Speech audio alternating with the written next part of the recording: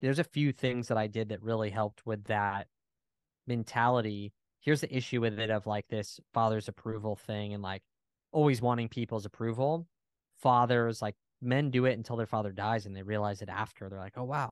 Like I've been literally still grinding until I'm 40, 50, 60 years old. Yeah. And when my dad died, then you have nothing to work for. And it's like, that's not the problem with that is that it'll get you an external result, but that doesn't mean that it was a healthy thing. I have a quote that came to me that I believe was Holy Spirit inspired when I was 18. It's that's went this way. I'd rather do what I know is right and fail in the world's eyes than do what I already know is wrong and succeed.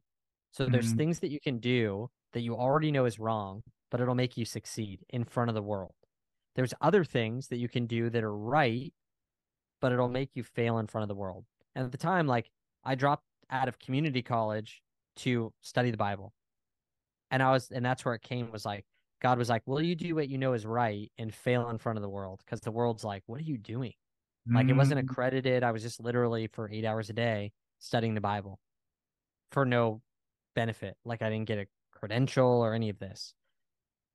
B- but what what else would I have done? Like I could have just gone and gotten a job and everyone would have been happy, but I knew it would have been wrong. So it's kind of that internal conviction there.